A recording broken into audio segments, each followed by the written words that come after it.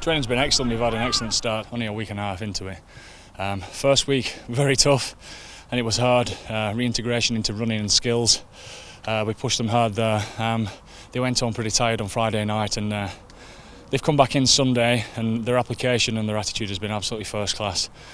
And guess what? We've ramped it up again and uh, asked some questions of them. They've dealt with the stress of that perfectly. It's about helping your mates across the line. It's about looking after one another, encouragement, making sure that we uh, we suffer together, and uh, we're doing that at the minute. We play a lot of um, fitness games and a lot of fitness in between. We're looking at the guys who can push it really, not just in the fitness, but who can back it up in the games. And uh, it tends to be the chirpy ones, the, the ones who like to chat um, quite a lot and drive and help each other out. So um, there's a good group of them at the minute.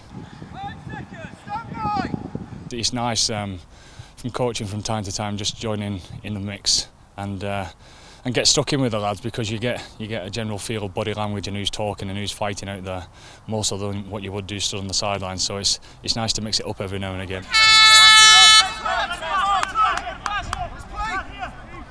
Competitions for places is uh, is where a World Cup camp should be at. Uh, it's funny actually because.